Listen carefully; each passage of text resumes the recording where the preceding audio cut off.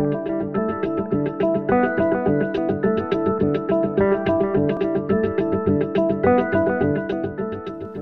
right, I guess uh, it's time, so I probably should get started. Um, yeah, so uh, hello, my name is John Stultz. I'm uh, uh, one of the engineers on the uh, LMG kernel team.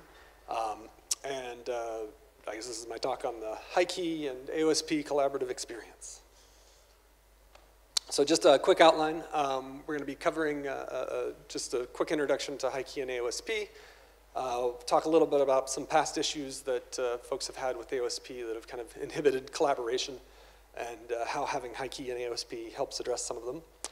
Uh, we'll talk a little bit about um, some of Linaro's previous efforts and how they've helped out uh, uh, during this time. Um, then we'll talk about some kind of interesting aspects of trying to get a, a dev board into AOSP.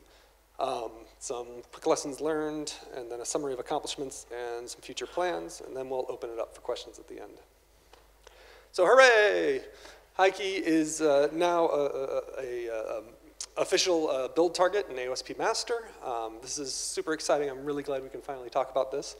Um, and it's exciting because we now have an affordable 64-bit uh, dev board that the support's getting pushed upstream, and it's now a, a first-class uh, citizen in AOSP.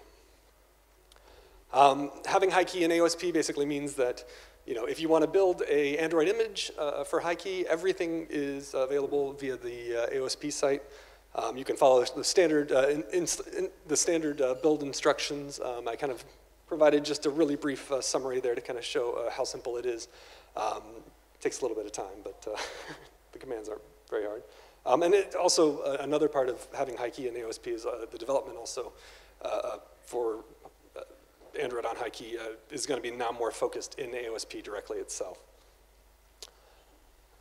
Now, at the last Connect, I got up and gave this big talk about uh, uh, some issues that folks have been having with AOSP that kind of was keeping collaboration from really uh, uh, working well. Um, and the first was that while AOSP is an open project, um, you know, anyone can sign up and submit patches and, and, and try to uh, get review on Gerrit. Um, in the past, I guess Google has been somewhat hesitant to merge any sort of changes that they can't validate themselves. And so this has the effect of making AOSP basically a Nexus-only uh, uh, project. And this is a reasonable constraint. I mean, you want to make sure that the quality of, of, of, the project is, is held up. But it does make it so that anyone else who's creating a non-Nexus device basically has to have their own fork of the tree and, and, doing their own development in a separate space and not really collaborating with anyone else. Um, Another issue that we talked about was sort of the, the, the slow uptake of long-term stable kernels. Um, we're seeing, uh, I guess, uh, sometimes devices being released with kernels that are multiple years old. Um, and, you know, this isn't really problematic for users. They get a, a fully enabled device. Um, and, you know, having a, an older kernel even can be a, a, benefit because it means that it's hopefully uh, uh, more stable on that SoC. Um, but it is a problem for developers because this means that the uh, vendors who are working on those form factor devices are in some cases many years behind where the upstream community is working. Um, and so this makes it very difficult to, uh, uh, uh I guess, collaborate or get that sort of work uh, uh, upstream as well. Um, and I guess these two issues kind of tie together a little bit because, you know, if you are trying to do some sort of upstream focused development, um, you know, and you want to get, if there's some cool feature upstream that you want to enable in AOSP, uh, it means basically you're going to have to get that working on a Nexus device. And that means you're going to be working on an old kernel. And so that's a huge backporting effort that you have to do um, in order to get that going. Um, another aspect is there's sometimes a bit of a disconnect between uh, uh, the, I guess, you know, vendors who are working on form factor devices that have a high level of kind of polished integration. Um, and then, you know, the larger community, guess not larger, but the, the community of uh, uh, developers and, uh, and, upstream developers who are mostly working on dev boards.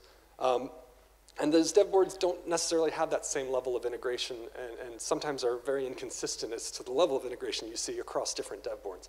Um, and this is problematic because, you know, the community members and the upstream folks who are working on these dev boards may not actually have a good sense of you know, what Android needs, whereas the vendors who are working on the form factor devices are you know, focused on enabling that on those older kernels. So this, again, creates kind of a bit of a gap in understanding and makes it sometimes harder to push changes upstream because upstream folks don't really understand what's necessary.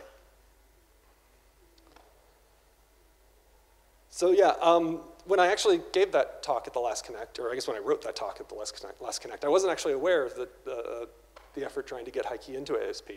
Um, but now that it's there, it actually uh, addresses a number of the issues uh, that I talked about. Um, so first of all, it provides a, a, reference dev board in AOSP, and this is useful because, you know, one, it shows other vendors kind of what the expected behavior of dev boards uh, might be with Android and shows you know, how, how uh, new code that might be uh, showing up in AOSP should work uh, on a dev board. It gives a, a kind of example integrated uh, device.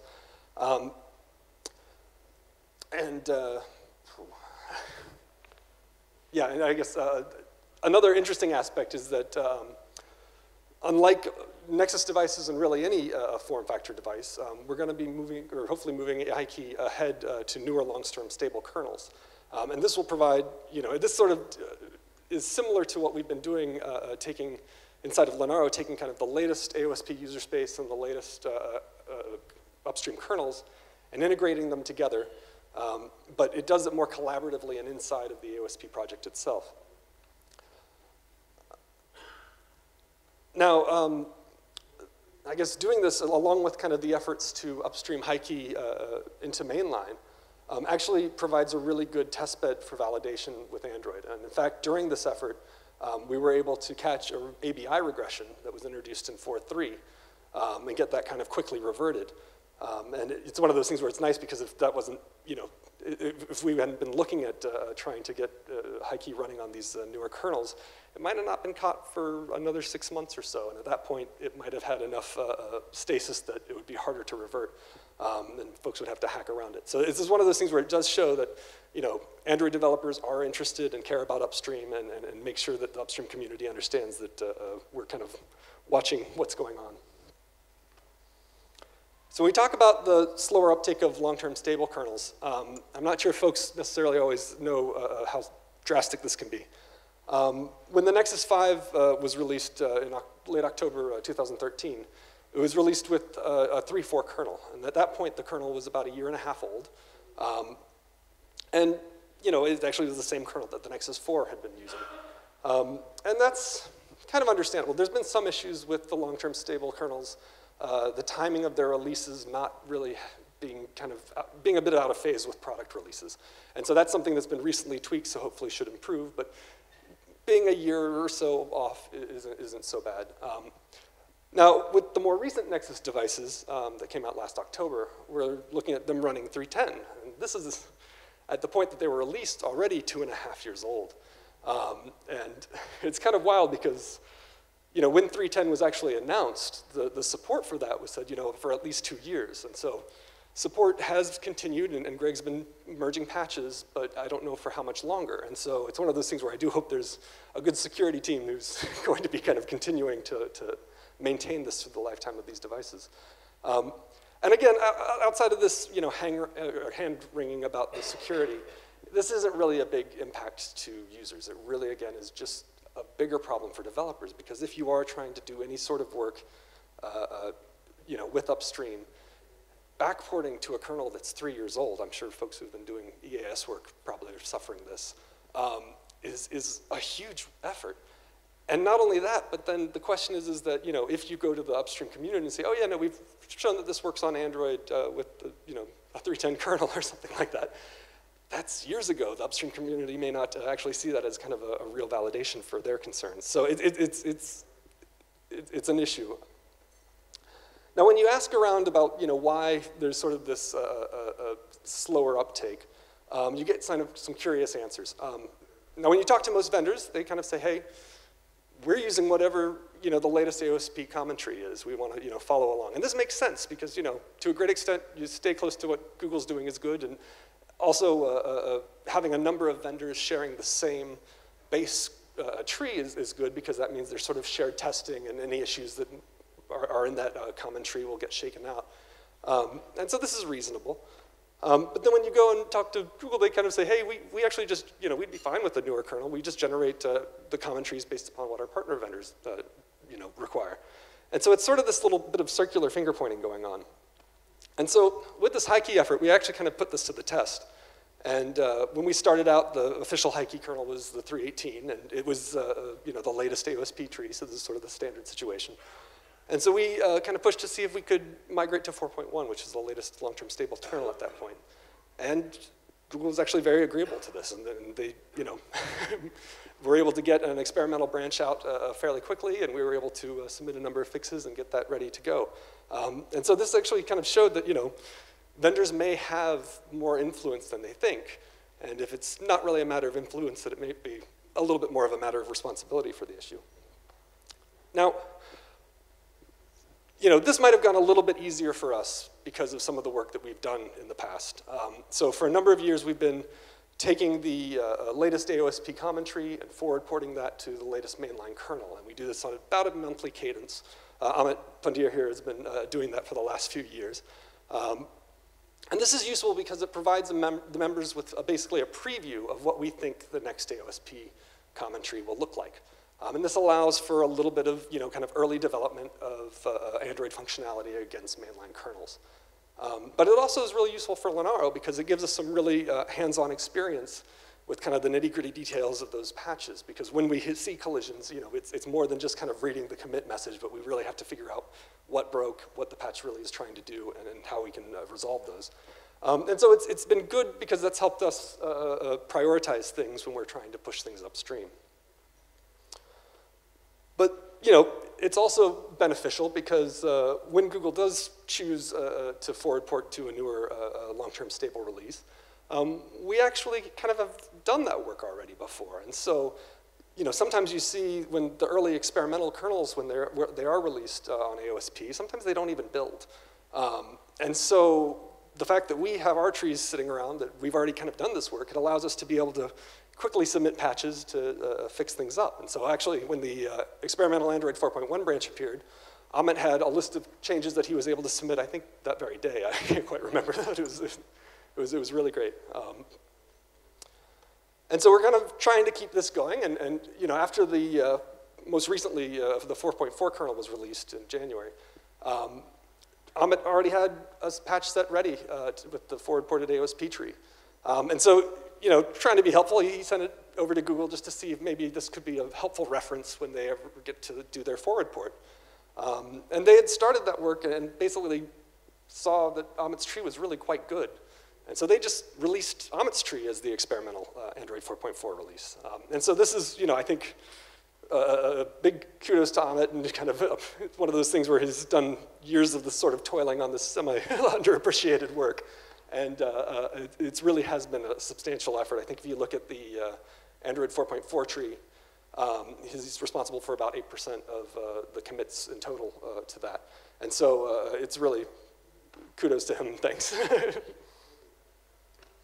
so another aspect that I wanted to talk about a little bit um, was that, you know, again, with most Nexus devices or any Android form factor device, um, there's this high level of polished integration that when you look at dev boards, you just don't have. And, and quite often there's this inconsistency of, of, of, what, how the dev board should behave. And so this, this um, aspect of kind of how much polish is, is, is, needed creates a little bit of a tension about, you know, when, when do you release? When is, when is, when is this done?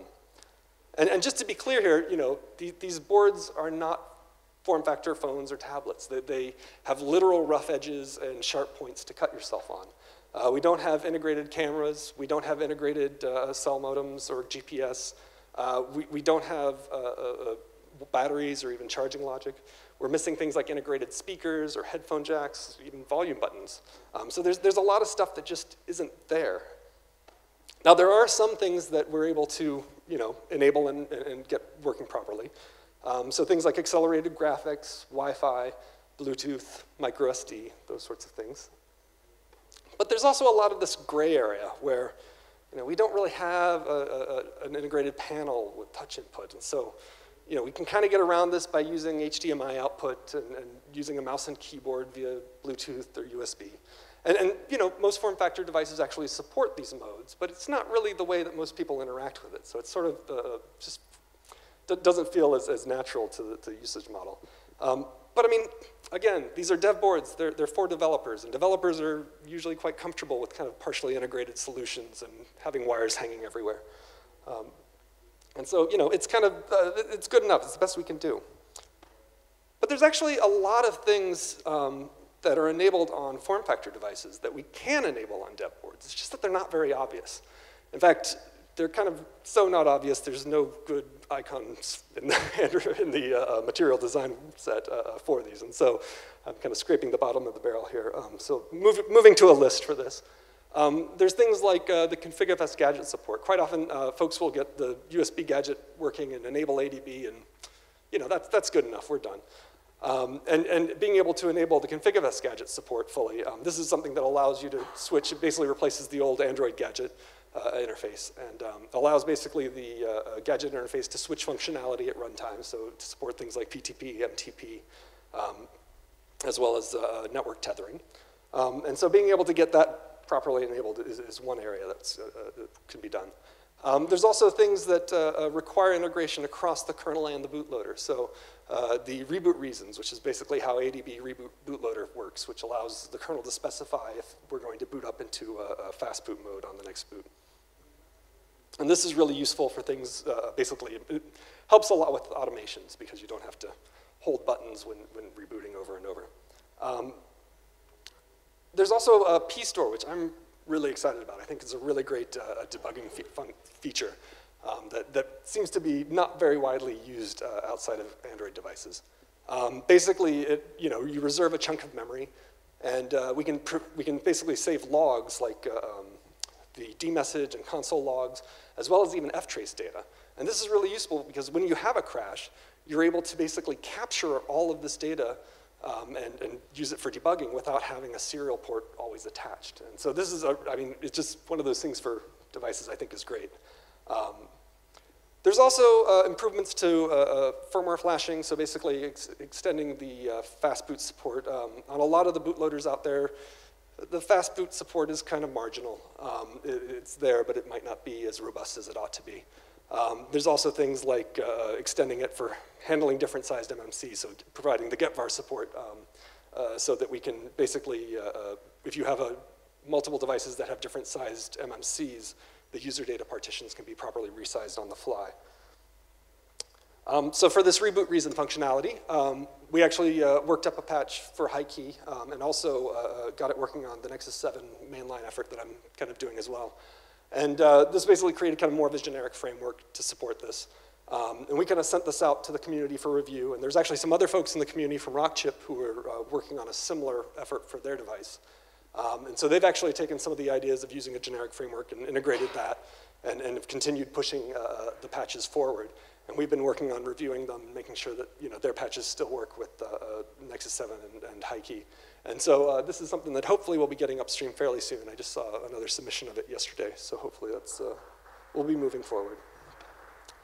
Um, the pstore uh, functionality, again, is very cool functionality. It's already upstream. It's kind of amazing that no one's really using this. Um, one, of the, one of the aspects that is uh, uh, a little problematic with it is that you do have to provide a, a custom uh, platform driver uh, for each device that specifies where the memory region is and how big it is. And that's the sort of thing that really should be done via device tree. Um, there's a couple of patches uh, to support uh, device tree bindings with pstore that have been sent out over the last couple of years. Um, and so as part of this effort, we kind of nudged one of the Google developers who had done that. Um, and he resubmitted it, and we went through another kind of review cycle. So hopefully we'll see that uh, get another update and queued soon. Um, we also you know, had to work on a bunch of bootloader enhancements. So uh, one aspect uh, that we've run into is, uh, so HiKey uses UEFI for a bootloader, and, and, that normally uses a FAT partition for its uh, boot partition. Um, and we were able to get this to work, um, but one of the issues is that on, I guess, some of the tools that are required in order to manipulate FAT partitions without needing root, root permissions um, aren't, aren't, available everywhere that you can build Android. Um, and so AOSP would prefer that the uh, standard AOSP boot image format uh, be used. And so Haojian's actually working uh, to, to get that going. Um, and so that will be uh, uh, very cool when it's landing. Um, we also had a number of issues kind of uh, improving the robustness of the UEFI and recovery bootloader as fast boot protocol support. Um, and then Vishal has done some great work supporting the proper get vars so that we can do the partition resizing and that's just recently landed, which is nice. So there have been some points of friction. Um, one issue is so uh, uh the HiKey device um, really only supports uh, uh, uh either USB OTG or host mode, just one of those modes at a time. It can't do both at the same time. Um, and this makes sense from an SoC's point of view because most form factor devices only have one port. And so switching back and forth, you know, that, that's not a real problem. So this is one of these weird areas where the expectations for a dev board is actually higher than uh, a form factor device. Um, but it does uh, make it somewhat difficult to uh, uh kind of deal with day to day because you're dealing with a plugging, device, plugging the USB cable out in order to interact with the device and then plugging it back in to flash it or get logs. Um, and so it has been kind of a, it had some impact for the amount of automation that we can do.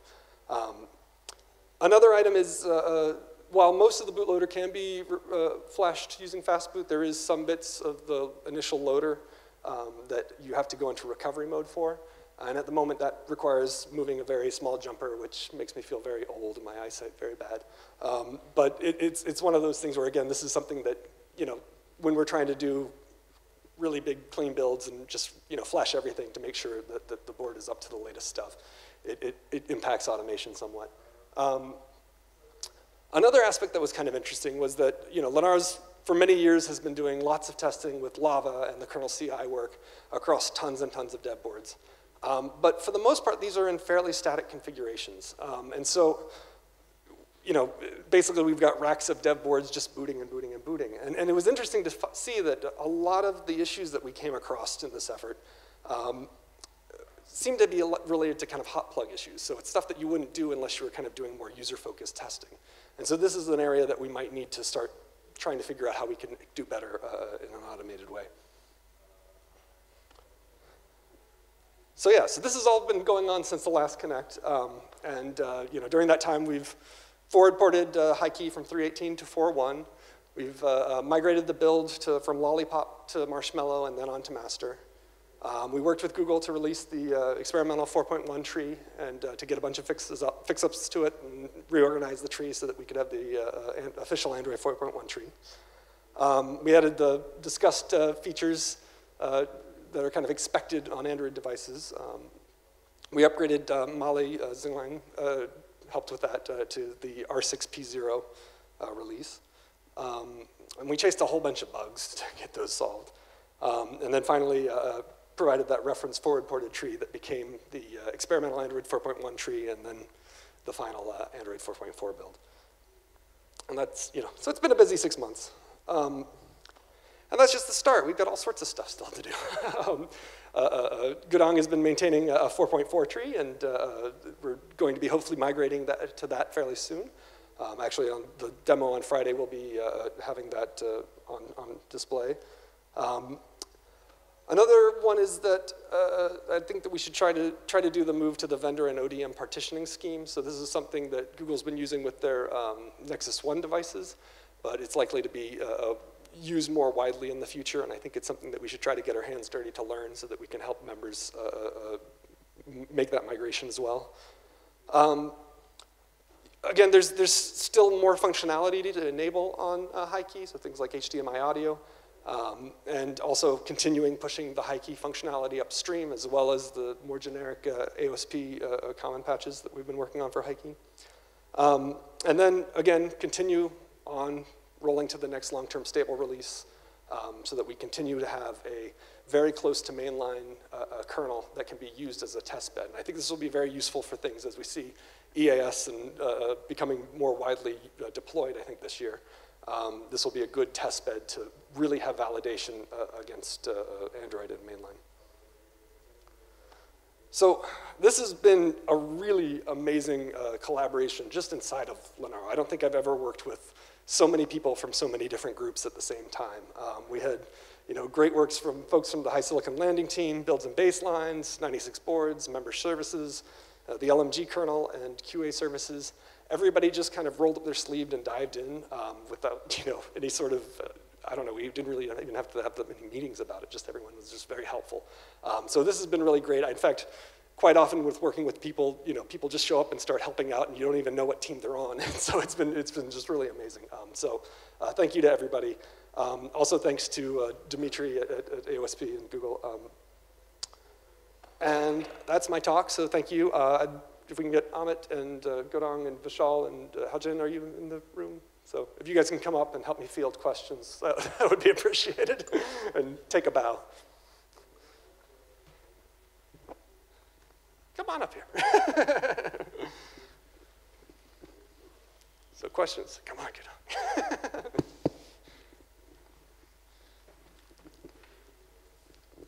How much testing does uh, gets done going from experimental to non-experimental trees? Um, it, it, varies. So it's dependent kernel to kernel, and I think it depends on who's interested in it. So uh, in the past, I know that we've been involved in testing and trying to make sure that it's as good as it can be by the time it becomes official. But you know, it, it, it kind of depends on interest out there. So.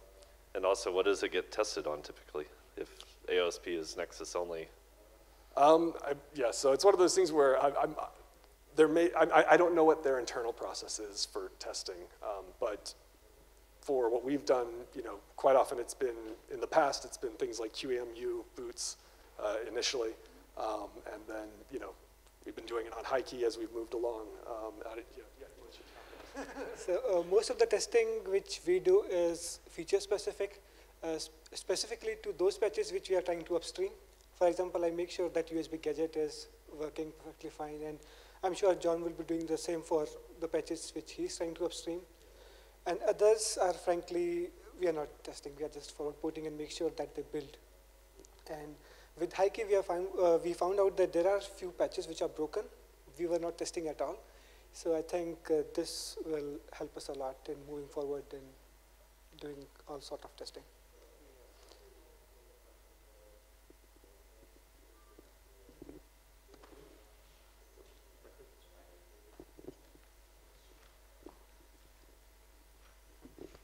So how many of those patches are for kernel, or and how many of those patches are for the common user space uh, code, like the AOSP? So I, guess I'm not sure what you mean by kernel and common. So the, the common tree is a, a kernel tree. I think at the moment the 4.4 tree is about 480 patches. Um, and uh, if you're talking about just the HiKey tree, um, I think that's another, at least, uh, I don't have a good number on the 4.4, but the, the, the, the 4.1 branch was about 170 some when we first moved it. So yeah, it, it, it, it's not that much. Yeah, so one of the slides uh, we have some plan to uh, upstream more patches. Uh, basically, for example, how many patches we are having on the HiKey for the framework base, like those kind of framework stuff. I mean, we don't change anything on the user space on AOSP. Uh, it I mean, basically we don't have uh, uh, any multimedia stuff uh, accelerated, so we've not done anything on uh, changing things. But whereas uh, graphic stack and things, yeah. they work out of the box. We don't add any patches on top of ASP. Okay. Do we have any plans or any task remaining for the HiKey platform we are able to upstream or improve on these regards? Basically, the framework, native framework, AV framework, whatever. Um, we've been working on enabling uh, HALs. Uh, we are working on enabling audio, HDMI audio. But again, uh, we generally don't change anything in the uh, core of uh, AOSP uh, from our side. as HiKey as a device support, we work on adding HALs. But I mean, personally, we've not work much uh, to find any core issues on uh, AOSP master or things like that with multimedia playback where we are concentrating on providing patches as of now. Uh, maybe something uh, LMG is interested in doing that. Okay, it, it, from my experience, it seems uh, the ASP, uh, in terms of framework side, they can accept those bug fix, which is easy to support. It's right or not. They can get it accept and merge very quickly. But if you want to add a new feature, for example, something like USB hot plugs, uh, it's just more difficult. For example, they won't yeah, get even reviewed for a very long time, and I'm not sure what is the uh, kind of more effective way to get those patches reviewed by Google guys and even get some feedback. It's, it's okay to refuse those patches, right? But basically, we're expecting some uh, feedbacks to some extent, I'm hoping that having HiKey and AOSP helps address this. And so basically, it provides a platform to prove these sorts of changes out on. Um, and that way, they can then feel more comfortable about trying to see how it works across all of the platforms they support. Yes, I agree, yeah. So, yeah.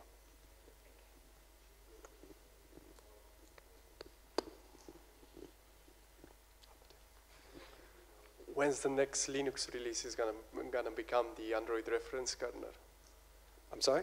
When is the next Linux release gonna become the reference Android kernel? Is that ever likely? So by reference Android kernel, do you mean the common tree? Yeah, basically getting rid of those 170 or whatever number of patches you mentioned, which are not platform specific, are just features that Android Uh, So has. it's actually on the order of about 400 and some, which is in the common tree. And, and yeah, part of the Android upstreaming work has been to continually try to reduce that. It, it's tough because we got to keep up with the changes that Google keeps adding. So one area that, you know, they recently added a branch for, you know, support for building the kernel with Clang. And so that's a whole bunch of changes that, you know, may or may not go upstream very easily. Um, and so uh, it's always a bit of a, a treadmill, but we do continue to push on it. The, the, the charts continue to shrink. Um, it's, it's just one of those things that continues to be worked on. So I, don't know when it'll be just done, but we, we hope to have something that's close. One thing that is, is good is a lot of the stuff, the core stuff that's necessary to bring Android up, a lot of that's been getting upstream. And so it's a lot of times, you know, big chunks of stuff are uh, things that are less critical, but are, you know, you'd still want in a product, but if you're going to do some initial development, some of the net filter accounting, for example, you can get away without. Um, things like the FIQ debugger, you know, that, does, that doesn't even exist, I guess, for, there's a 64-bit version, but you, can probably move to KDB for that. Um, and so it, it's one of those things where we're, we're trying to, as part of this effort, we're trying to look at what are the key things that you have to do to run, you know, Android on top of just maybe the HiKey, just the base support without the Android patches, and, and how can we get those key patches upstream? So Is there any plan to port Windows 10 IoT to HiKey? I am not aware. I don't know. I don't know. Anybody else? I'm not sure if anybody could comment.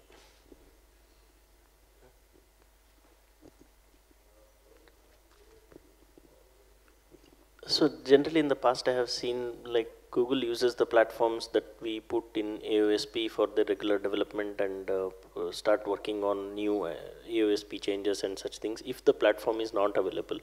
Like for example, if some new SOC has come out and if it is not available for them to really work on, then they will pick one of these open platforms and start working on. So what does it, like getting Hikey into AOSP, what does it mean to Google uh, more than our members and us? Like where do you see them using this platform? Uh, I don't have a complete answer to that, but recently I saw a commit uh, from one of the developers, and it says that he has validated that particular commit on Hikey with 3.18, and he said that it works fine, and he just merged it in. So I think They're using. it helped. Yeah, I mean, at least for that particular patch validation, it helped him. So Yeah, I, I mean, it's one of those things where I think, you know, I can't speak for Google. I think it's one of those things where they, they, they it's been a while since they've had a development board um, in AOSP, and I think that they were recognizing some of the issues around people trying to collaborate and work inside of AOSP. Um, I think especially as, you know, their, their scope of what Android might be applied to grows, um, having a more kind of uh, hacker-friendly device is, is something they were interested in having. But again, I, this is all speculation, so. Yep. So, apart from HiKey board, do we have any plan for making other 96 boards as part of AOSP or? It's something we're it. looking into. Um, I think that all requires negotiation and discussions way above my head and any sort of technical level. Um, so, but yeah, I, I, it's, it's something that I think would be great to try to extend. I'll add to that that we have to have a plan to do that because HiKey is not going to be used in five years from now or maybe even one year from now. Wow, I think, yeah. So we don't want it to be the panda board again. Yeah, no, I, I think, I, I think, I personally think it's very important that we uh, uh, support the HiKey in AOSP for, you know, a, a reasonable device life, lifetime as long as we can. But we'll have to see how that negotiation goes.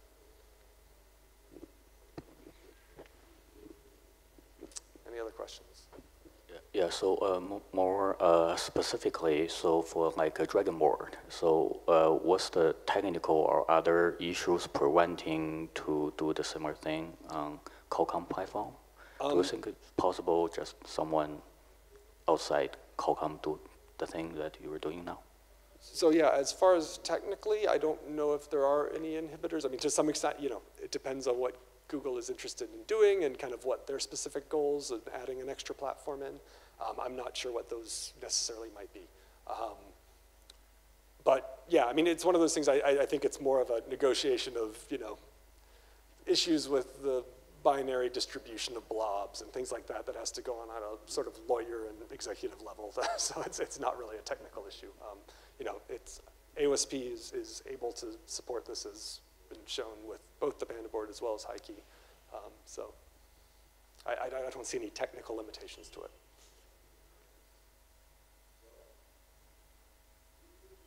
Anything else?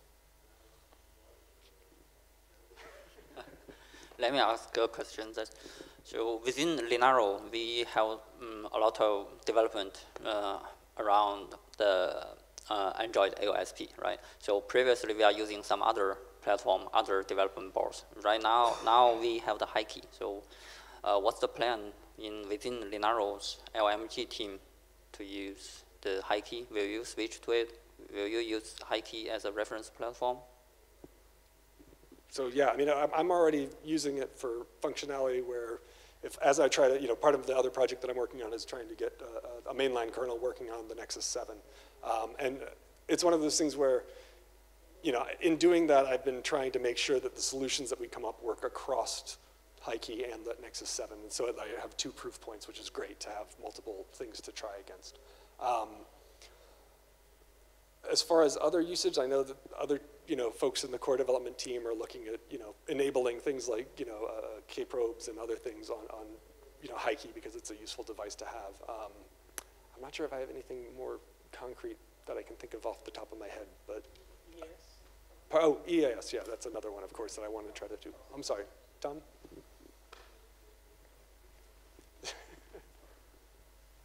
Yeah, I guess I just was going to add that, I mean, at least as far as an official capacity and what LMG does with our dev boards that we support through LCR and, you know, through member releases and stuff like that, HiKey is now on that list. And this is, this effort led directly to that being possible. And it's, I mean, it's another good target for the, you know, forward porting to create those, uh, you know, previews of what we think the next AOSP is going to look like, you know, each month. That's another test bed to make sure that it still runs and works. Um, and so that, that's another area that we'll probably be using it for. Um, but yeah. It, anything else? I think that's it. All right, well, thank you so much.